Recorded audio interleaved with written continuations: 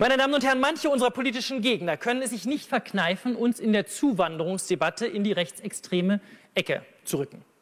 Nur weil wir ähm, im Zusammenhang mit der Zuwanderung auf die Gefahr von Parallelgesellschaften aufmerksam machen.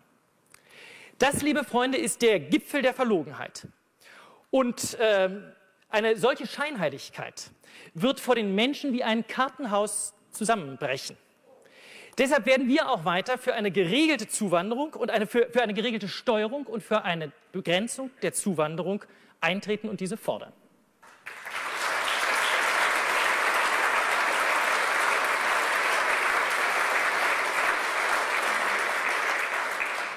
Meine Damen und Herren, ich hätte gar nicht gedacht, dass Sie Frau Merkel so viel Beifall spenden, wie Sie es gerade getan haben.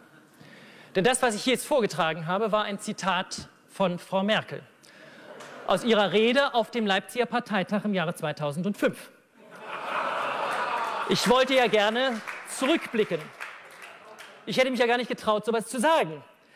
Ich wollte gerne zurückblicken auf das Jahr 2005. Aber im Jahr 2005 hat Frau Merkel gesagt, und ich wiederhole es jetzt noch einmal, manche unserer Gegner können es sich nicht verkneifen, uns in der Zuwanderungsdiskussion in die rechtsextreme Ecke zu rücken. Nur weil wir einen Zusammenhang mit der Zuwanderung, weil wir im Zusammenhang mit der Zuwanderung auf die Gefahr von Parallelgesellschaften aufmerksam machen. Das, liebe Freunde, ist der Gipfel der Verlogenheit. Und eine solche Scheinheiligkeit wird vor den Menschen wird vor den Menschen wie ein Kartenhaus in sich zusammenbrechen. Deshalb werden wir auch weiter eine geregelte Steuerung und Begrenzung der Zuwanderung fordern. Das sagte Frau Merkel auf dem Leipziger Parteitag der CDU vor zehn Jahren, meine Damen und Herren. Erfolgt ist nichts davon.